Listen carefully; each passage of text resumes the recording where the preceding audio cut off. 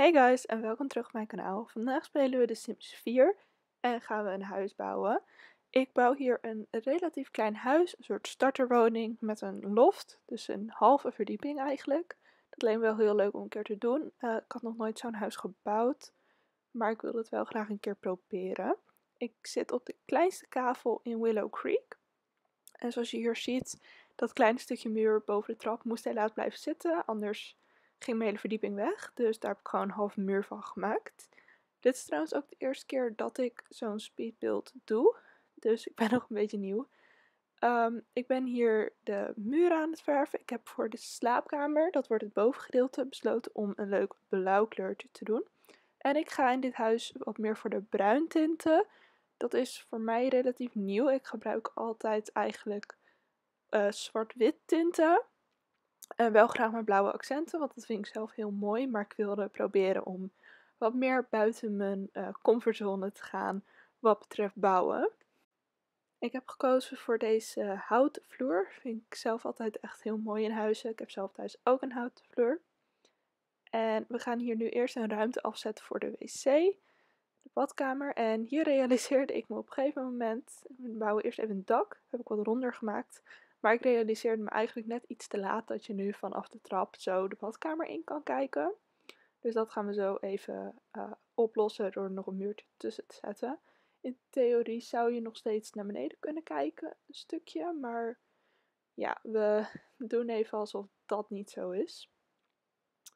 Ik uh, plaats hier al een deur en ik heb een stukje gereserveerd voor de bad- en douchecombinatie. Ik heb gekozen om niet de duurste meubels te gebruiken per definitie. Vaak ga ik wel naar de wat duurdere meubels, maar omdat het van meer een starterwoning is, heb ik dus besloten om wat goedkopere meubels ook erin te zetten. Ik vond het gordijn nog een beetje lastig. Ik heb twee verschillende soorten gordijnen gebruikt, omdat ik twee formaat ramen had. En ja, op zich vind ik het niet heel erg storend. Hier plaats ik dus de bad-douche combinatie en gelijk ook een wasbakje en een toilet. Het is een vrij kleine badkamer. Ik heb ook maar één badkamer in deze woning. Ik vond het te krap worden om boven nog een badkamer te doen. Dus heb ik hier een iets grotere gemaakt, zodat hier ook een bad- en douchecombinatie in kon. En ja, dan moet je maar even van boven naar beneden lopen. Uh, dit is meer echt een woning voor of een alleenwonende sim, of echt een koppel dat net is gaan samenwonen. Ik wou nog een keukeneiland doen, maar dat vond ik te krap worden.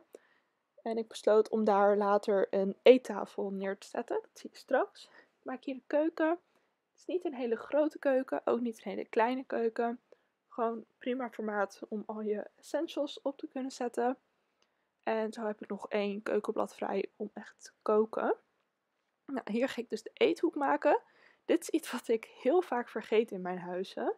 Ik laat ze altijd gewoon op de bank eten eigenlijk. En ik besloot hier dat ik een spiegel over de kast wilde hebben, heb ik wel een uh, cheat voor moeten gebruiken. Ik heb uh, ook een aantal keer de Modello cheat gebruikt en dus bb.moveObjects. Dat zijn eigenlijk de enige cheats die ik gebruikt heb hiervoor.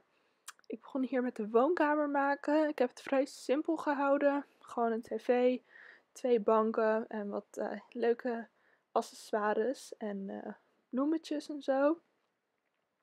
En hierachter, ik wilde ergens een boekenkast kwijt, maar ik vond het niet zo mooi voor het raam. Ik heb ook uiteindelijk een andere boekenkast gekozen en op een andere plek. En hier heb ik een soort ja, studeerhoekje, kantoortje van gemaakt. Ook heel simpel. Ik wilde het huis vooral heel simpel houden, niet te druk. Ik heb hier beneden nog wat lampen neergezet, want ik kon natuurlijk geen lampen ophangen aan die helft, omdat er geen plafond zat. Hier ben ik voor wat grote schilderijen gegaan. En ook nog wat kleine schilderijtjes om het uh, een beetje af te maken. Nog wat kleine rommeltjes hier en daar. Ik heb het mesblok even daartussen gepropt. En ja, wat nog een laatste kleedje. Ik heb niet overal een kleed, want ja, ik heb zelf ook niet op alle plekken een kleed. Ik besloot wel een klein zwembad in de tuin te maken. Dat vond ik wel leuk.